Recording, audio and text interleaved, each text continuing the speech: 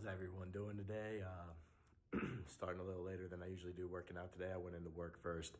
Gonna go uh, do a leg workout and then I'm gonna go do a, a boot camp, which, um, you know, like it's a bunch of Tabata exercises, like 50 seconds on, 10 seconds off for 45 minutes. So I'll go do that after my leg workout today.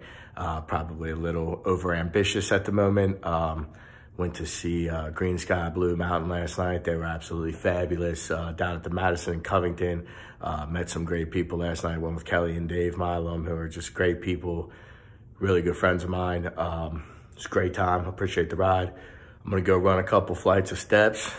Hit you guys back up here shortly. Even when you don't feel like it, even when you're tired, even when you've been out all night the night before, get up, work out, get yourself feeling better, man. I mean, it's really one of the biggest things that's helped change my existence.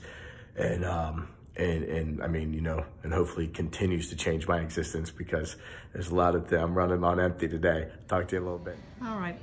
Oh. Slow down a smidge. There you go. You can go.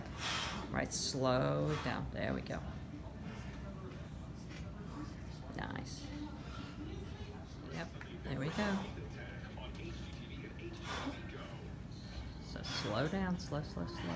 And try and keep your upper body still, right? And abs are engaged. There we go. Pretty.